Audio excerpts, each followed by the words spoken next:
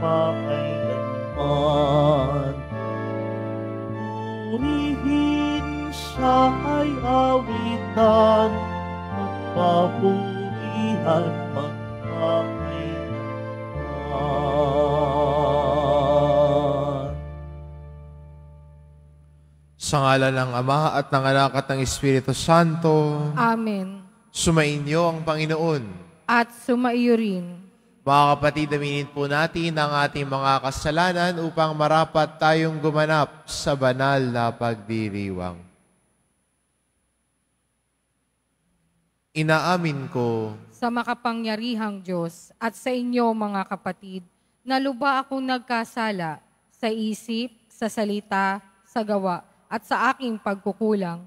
Kaya isinasamo ko sa mahal na Bireng Maria, sa lahat ng mga anghel at mga banal, at sa inyo mga kapatid na ko'y ipanalangin sa Panginoong ating Diyos. kaawaan tayo ng makapangyarihang Diyos, patawarin tayo sa ating mga kasalanan, at patnubayan tayo sa buhay na walang hanggan. Amen. Panginoon, kaawaan mo kami. Panginoon, kaawaan mo kami. Kristo, kaawaan mo kami. Kristo, kaawaan mo kami. Panginoon, kaawaan mo kami. Panginoon, kaawaan mo kami. Manalangin tayo.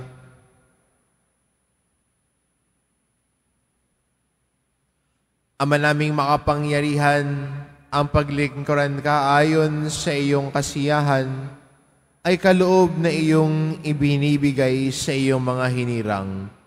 Gawin mong ang iyong mga pangako ay aming mapakinabangan ayon sa paraang iyong kinalulugdan sa pamamagitan ni Heso Kristo kasama ng Espiritu Santo magpa sa walang hanggan. Amen. Magsiupo po ang lahat. Pagbasa mula sa sulat ni Apostol San Pablo sa mga taga-Filipos. Mga kapatid, magpakababa kayo tulad ni Kristo Jesus, na bagamat siya'y Diyos, hindi nagpilit na manatiling kapantay ng Diyos. Bagkus, hinubad niya ang lahat ng katangian ng pagka-Diyos, nagkatawang tao, at namuhay na isang alipin. Nang maging tao, siya'y nagpakababa at naging masunurin hanggang kamatayan. Oo, hanggang kamatayan sa krus. Kaya naman siya'y itinampok ng Diyos at binigyan ng pangalang higit sa lahat ng pangalan. Ano pat ang lahat ng nilalang na nasa langit, nasa lupa, nasa ilalim ng lupa ay maninikluhod at sasamba sa Kanya at ipapahayag ng lahat na si Yesu Kristo ang Panginoon sa ikararangal ng Diyos Ama. Ang salita ng Diyos. Salamat sa Diyos. Pupurihin kita poon ngayong kami nagtitipon Pupurihin kita poon ngayong kami natitipon. sa harap ng masunuring malang, mga lingkod mong hinirang. Ang handog na panata ko ay doon ko iaalay. Magsasawa sa pagkain niya ang mga nagdarahop. Aawit ng pagpupuri ang sa Diyos ay dudulog. Buhay nila ay uunlad. Sasagana silang lubos. Pupurihin kita poon ngayong kami natitipon. Sa dakilang Panginoon ang lahat ay magbabalik. Ang lahat ng mga lahi ay sasambang may pag-ibig. Ang Diyos ay Panginoon, hari siya ng nilikha. Maghahari sa daigdig sa lahat ng mga bansa. Mga ngayupapang sa lahat ang palalot mayayabang.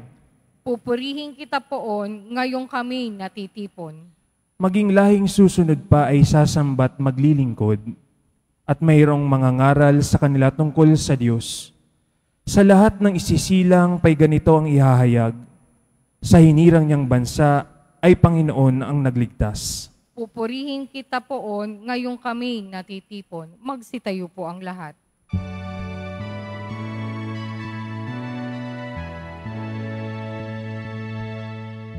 Alleluia.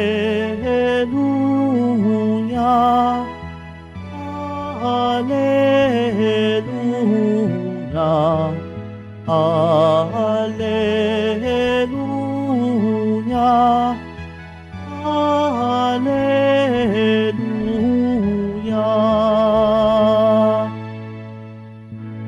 Kayong mabigat ang pasan, ay kay Jesus maglapitan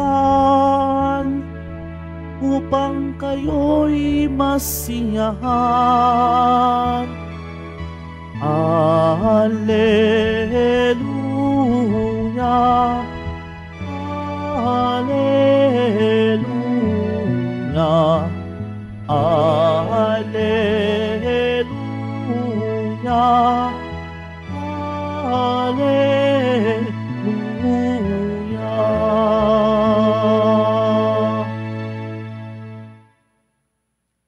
Sumainyo ang Panginoon, At sumaiyo rin. ang mabuting balita ng Panginoon ayon kay San Lucas. Papuri sa iyo, Panginoon. Noong panahong iyon, sinabi kay Jesus ng isa sa mga kasalo niya sa hapag, Mapalad ang makakasalo sa hapag ng, sa kaharian ng Diyos. Sumagot si Jesus, May isang lalaking naghanda ng isang malaking piging at marami ang inanyayahan. Nang dumating ang oras ng piging, inutusan niya ang kanyang mga alipin at ipinasabi sa mga inianyayahan, Halina kayo, handa na ang lahat. Ngunit nagdahilan silang lahat. Ang sabi ng una, nakabili ako ng bukid at kailangan kong puntahan. Kayo na sana ang bahalang magpaumanhin sa akin. At sinabi ng isa, nakabili ako ng limang pares na baka at kailangan kong isingkaw para mas masubok. Kayo na, kayo na sana ang bahalang magpaumanhin sa akin. Sinabi naman ng isa pa, bagong kasal ako, kaya hindi ako makadadalo. Bumalik ang alipin at ibinalita ito sa kanyang Panginoon. Nagalit ito at sinabi sa alipin, Lumabas kang madali sa mga lansangan at pakikipot na daan ng lungsod at isama mo rito ang mga pulubi, mga pingkaw, mga bulag at mga pilay. Magbabalik ang alipin at sinabi niya, Panginoon, nagawa na po ang inuutos ninyo, ngunit maluwag pa. Kaya sinabi ng Panginoon sa alipin, Lumabas ka sa mga lansangan at sa mga landas at pilitin mong pumarito ang mga tao upang mapuno ang aking bahay. Sinasabi ko sa inyo, isa man sa mga unang inanyayahan ay hindi makakatikim ng aking handa. Ang mabuting balita ng Panginoon. Pinupuri ka namin, Panginoong Heso Kristo. Magsiupo po ang lahat.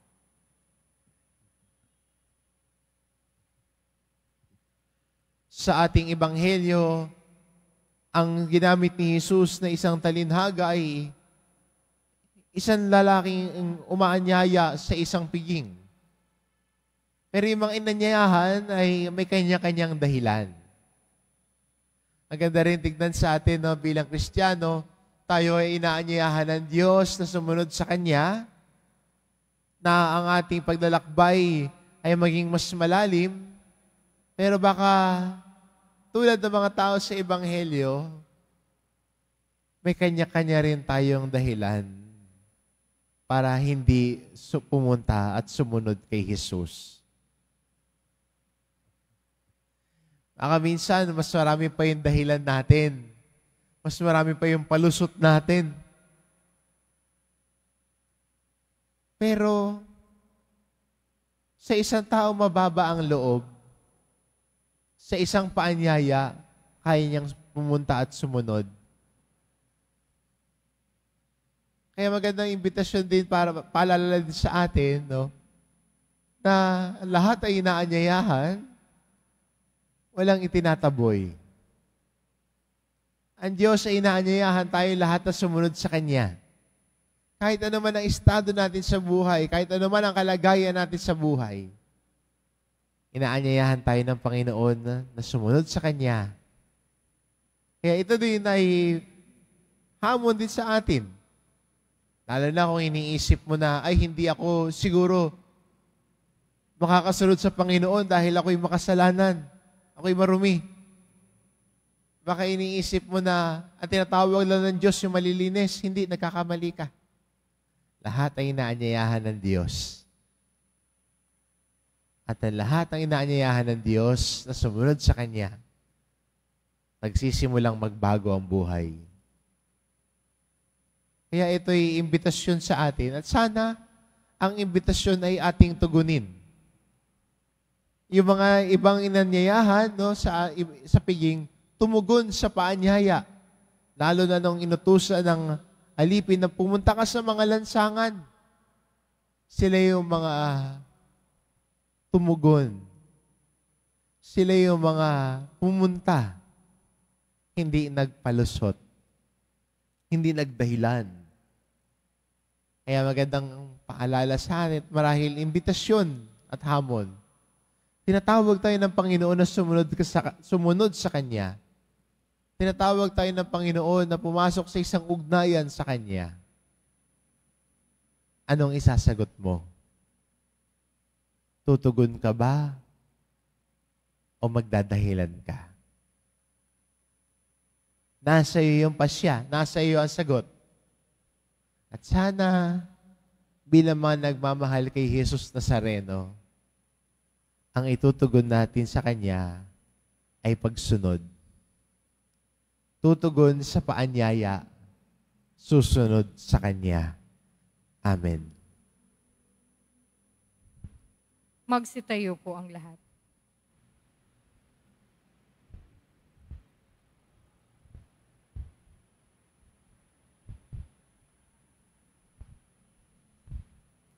Minamahal ko mga kapatid, may pananampalataya nating itaas sa Ama ang ating mga kahilingan. Siya, ang, na, siya na nagnanais na tanggapin nating lahat ang kanyang paanyaya sa habag ng buhay na walang hanggan.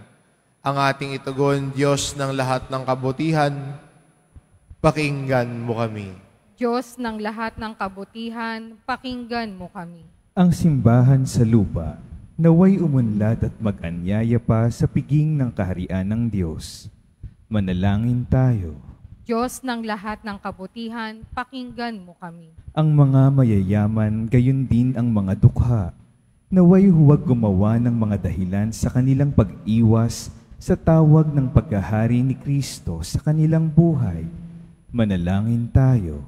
Diyos ng lahat ng kabutihan, pakinggan mo kami. Tayo naway matagpo ang karapat-dapat na makiisa sa hapag ng kordero ng Diyos. Manalangin tayo. Diyos ng lahat ng kabutihan, pakinggan mo kami. Sa pamamagitan ng ating kabutihang loob, tayo naway makapagbigay saya at pag-asa sa mga may sakit at may kapansanan. Manalangin tayo. Diyos ng lahat ng kabutihan, pakinggan mo kami. Ang mga namayapa, naway mabuhay sa tahanan ng Diyos at magbunyi sa hapag ng buhay na walang hanggan. Manalangin tayo. Diyos ng lahat ng kabutihan, pakinggan mo kami. Ama naming Diyos, tinawag mo kami upang makiisa sa iyong kasaganahan. Maging bahagi nawa kami ng mga mabiyayang pagkakataon na dumaraan sa aming buhay at tumugon kami ng may bukas na puso. Inihiling namin ito sa pamamagitan ni Kristong aming Panginoon. Amen. Magsiupo po ang lahat.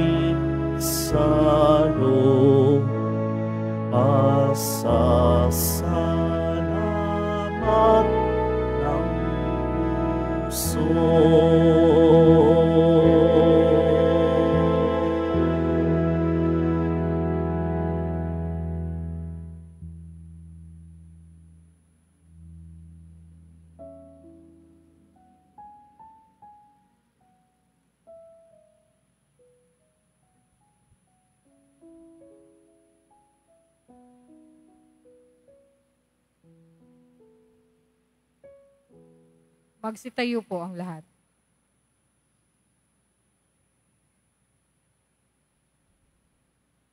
Manalangin kay mga kapatid upang ang paghahain natin ay kalugdan ng Diyos amang makapangyarihan. Tanggapin nawa ng Panginoon itong paghahain sa iyong mga kamay, sa kapurihan niya at karangalan, sa ating kapakinabangan at sa buong sambayanan niyang banal. Ama naming lumika sa paghahain namin ito ay maging dalisay nawa at maging banal na pakikinabang namin sa iyong awang dakila sa pamamagitan ni Heso Kristo kasama ng Espiritu Santo magpasawalang hanggan. Amen. Sumainyo ang Panginoon. At sumaiyo rin, Itaas sa Diyos ang inyong puso at diwa. itinaas na namin sa Panginoon. Pasalamatan natin ang Panginoong ating Diyos. Marapat na siya ay pasalamatan. Ama naming makapangyarihan, tunay ngang marapat na ikaw ay aming pasalamatan. Ikinalugod mong likain ang sanlibutan na iyong pinagbabago at idinarangal sa pamamagitan ng iyong anak na kinalulugdan. Kaya't utang na loob ng iyong mga itinatangi at ng mga banal na kapiling mong lagi ang iyong paggiliw at pagkakandili. Kaya kaisa ng mga anghel na nagsisiawit ng papuri sa iyo nang walang humpay sa kalangitan, kami nagbubunyi sa iyong kadakilaan. Santo, Santo, Santo, Panginoong Diyos na mga hukbo, napupuno ang langit at lupa ng kadakilaan mo o sana sa kaitaasan. Pinagpala ang naparirito sa ngalan ng Panginoon o sana sa kaitaasan. Magsilod po ang lahat. Ama naming banal, ikaw ang bukal ng tanang kabanalan, kaya't sa pamamagitan ng iyong Espiritu gawin mong banal ang kaloob na ito, upang para sa amin maging katawan at dugo ng aming Panginoong Heso Kristo. Bago niya pinagtiis ang kusang loob na maging handog, hinawakan niya ang tinapay. Pinasalamatan kanya. Pinagati-hati niya iyon, iniabot sa kanyang mga alagad at sinabi, Tanggapin ninyong lahat ito at kanin ito ang aking katawan na iyahandog para sa inyo.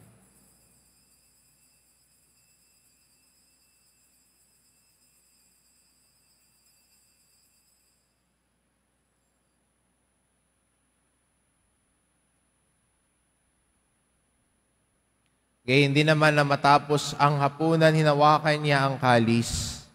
Muli kanyang pinasalamatan, iniabot niya ang kalis sa kanyang mga alagad at sinabi, Tanggapin ninyong lahat ito at inumin. Ito ang kalis ng aking dugo, ng bagot walang hanggang tipan.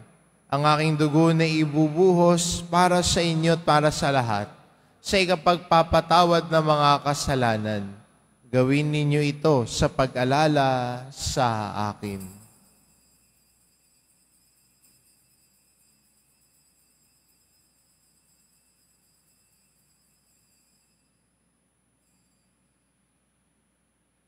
Magsitayo po ang lahat.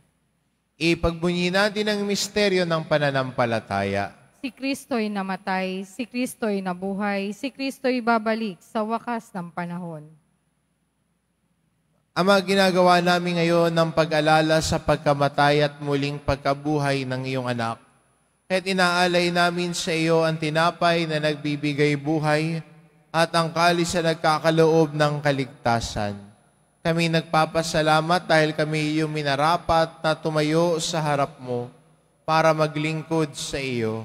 Isinasamo namin kaming magsasalo-salo sa katawan at dugo ni Kristo ay mabuklod sa pagkakaisa sa pamamagitan ng Espiritu Santo. Amalingapin mo ang iyong simbahang laganap sa buong daigdig. Puspusin mo kami sa pag-ibig kay San Francisco na aming Papa at ni Jose na aming Obispo at ng Tanang Kaparian. Alalahanin mo rin ang mga kapatid naming nahimlay na may pag-asang sila'y muling mabubuhay gayon din ang lahat ng mga pumanaw. Kaawaan mo sila at patuloyin sa iyong kaliwanagan. Kaawaan mo at pagindapatin kaming lahat na makasalo sa iyong buhay na walang wakas. Kaisa ng mahal na Birheng Maria na ina ng Diyos, na ang kabiyak ng puso niyang si San Jose, kaisa ng mga apostol at ng lahat ng mga banal na namuhay dito sa daigdig ng kalugod-lugod sa iyo, maipagdiwang nawa namin ang pagpupuri sa ikararangal mo sa pamamagitan ng iyong anak na aming Panginoong Heso Kristo. Sa pamamagitan ni Kristo kasama niya at sa Kanya, ang lahat ng parangal at papuri ay sa iyo, Diyos amang makapangyarihan, kasama ng Espiritu Santo, magpas sa walang hanggan. Amen. Sa tagubilin ng mga nakagagaling na utos at turo ni Jesus na Panginoon natin at Diyos, ipahayag po natin ng lakas loob. Ama namin, sumasalangit ka. Sambahin ang ngalan mo. Mapasa amin ang kaharian mo. Sundin ang loob mo dito sa lupa para nang sa langit. Bigyan mo kami ngayon ng aming kakanin sa araw-araw at patawarin mo kami sa aming mga sala para ng pagpapatawad namin sa nagkakasala sa amin. At huwag mo kaming ipaintulot sa tukso at iadya mo kami sa lahat ng masama. Hinihiling namin kami adya sa lahat ng masama pagkalooban ng kapayapaan araw-araw. Iligtas sa kasalanan at ilayo sa lahat ng kapahamakan. Samantalang aming pinananabikan ng dakilang araw ng pagpapahayag ng tagapagligtas naming si Heso Kristo. sapagkat iyo ang kaharian at ang kapangyarihan at ang kapurihan magpakailanman. Amen. Panginoong Kristo, sinabi mo sa iyong mga apostol, kapayapaan ang iniiwan ko sa inyo, ang aking kapayapaan ang ibinibigay ko sa inyo. Tungayan mo ang aming pananampalataya at huwag ang aming pagkakasala. Pagkalooban mo kami ng kapayapaan at pagkakaisa ayon sa iyong kalooban, kasama ng Espiritu Santo, magpasa walang hanggan. Amen.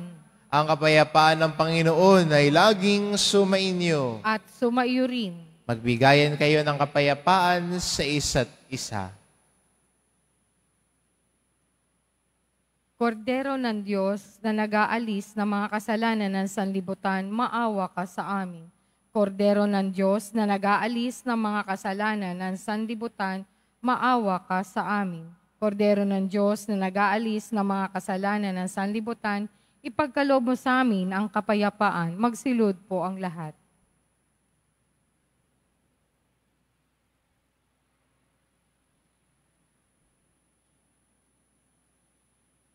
Itong kordero ng Diyos, ito nag-aalis ng kasalanan ng sanlibutan. Mapalad ang mga inaanyayahan sa kanyang piging. Panginoon, hindi ako karapat dapat na magpatuloy sa iyo, ngunit sa isang salita mo lamang ay gagaling na ako.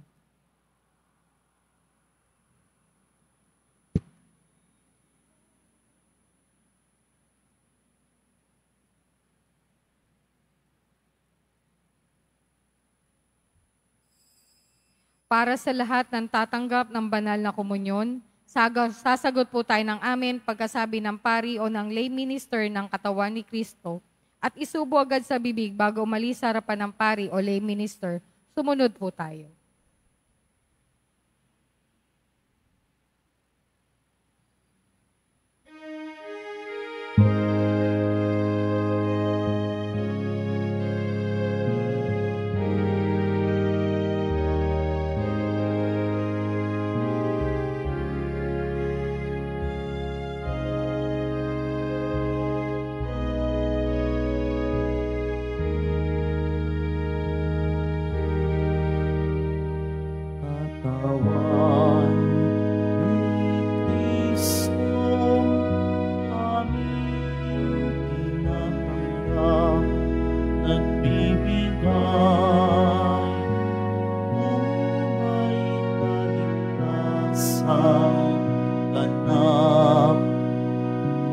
ng kaloob sa aming ikay.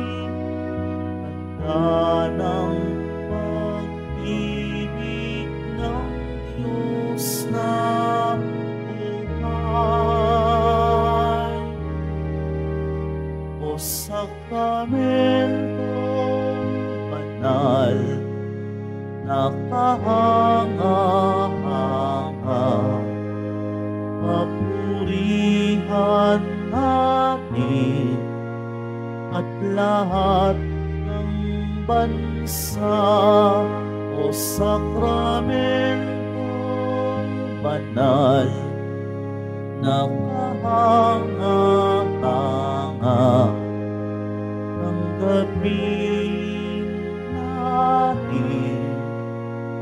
Buhay niyang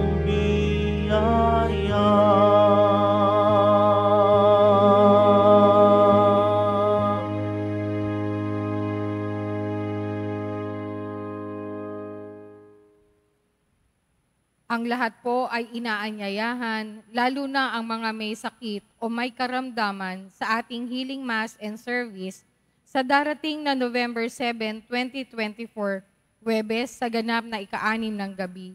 Makiisa po tayo. Available pa rin po ang ating mga All Souls envelope.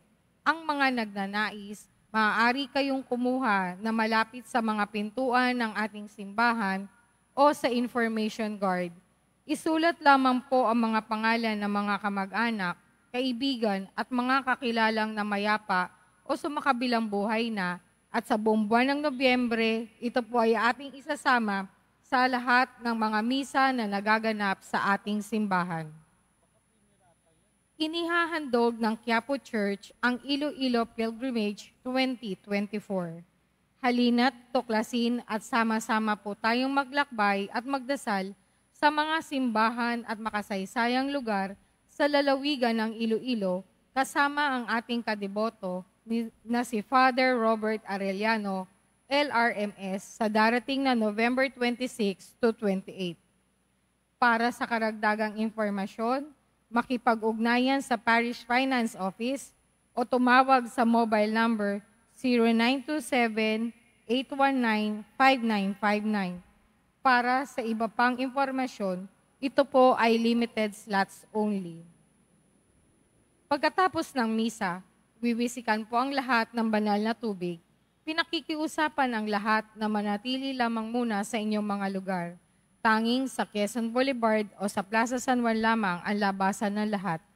Sumunod po tayo. Maraming salamat po sa inyong pagdalaw at pagsisimba sa Basilica Menor at Pambansang Dambana ni Jesus Nazareno. Magsitayo po ang lahat. Manalangin tayo. Ama naming mapagmahal, magkaroon nawa ng karagdagang bunga ang iyong ginamagampanan sa aming banal na pakikinabang upang sa aming pagsasalo, maging handa kaming tumanggap sa katuparan ng pangako mo sa pamamagitan ni Heso Kristo kasama ng Espiritu Santo magpa sa walang hanggan. Amen. Mga kapatid, patuloy nating ipagdasal ang ating mga minamahal na yumao at lahat ng mga kaluluwa sa purgatorio. Panginoon naming Diyos, Ama namin, Ikaw po ang dahilan ng aming pagsilang. Sa iyo galing ang aming hiram na buhay. Buong kababaang loob po kaming nananalangin at kami nagmamakaawang kalugdan mo po ang mga kaluluwa na mga pumanaw na sa mundong ito. Sila naway magkamit ng buhay sa iyong piling. Alisin mo ang anumang mga karumihan ng kasalanan upang sila ay maging marapat sa iyong walang hanggang kalinisan. Iahon mo sila mula sa purgatorio at bigyan ng puwang sa iyong kaharian sa langit. Kapayapaan kailanman ang igawad ng may kapal sa mga yumaong nagsipanaw. Sila naway silayan ng iyong ilaw na walang hanggan. Amen. Mapanatag nawa sila sa kapayapaan. Amen.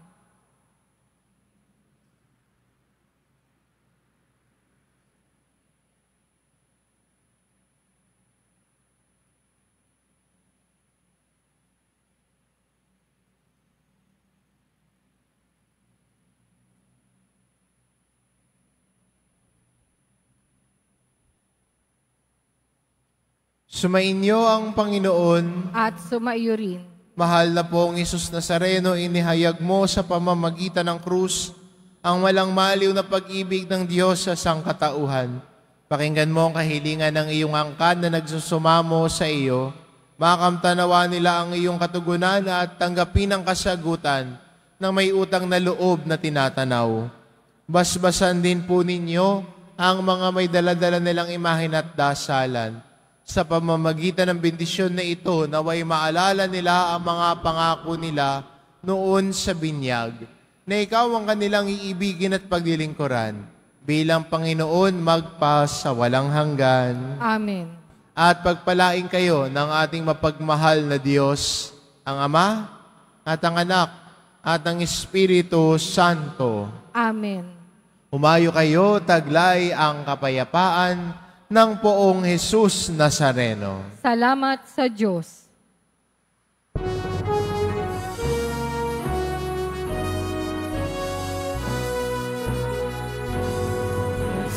Padre Jesus Nazareno, sinasamba ka namin. Pinipintubo ka namin. Aral mo ang aming buhay at kaligtasan.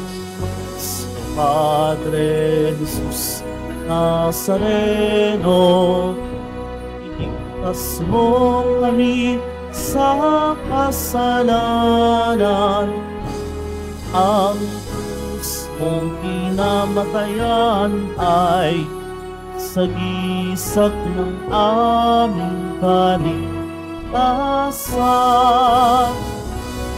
Kristo Padre Jesus Nazareno, inarangal panahani.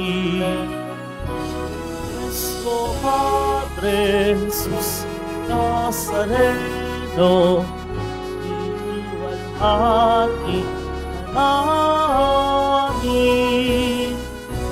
Kristo Padre Jesus Nazareno, inarangal panahani. Cristo Padre Jesus Nazareno, iniwalhati ka namin.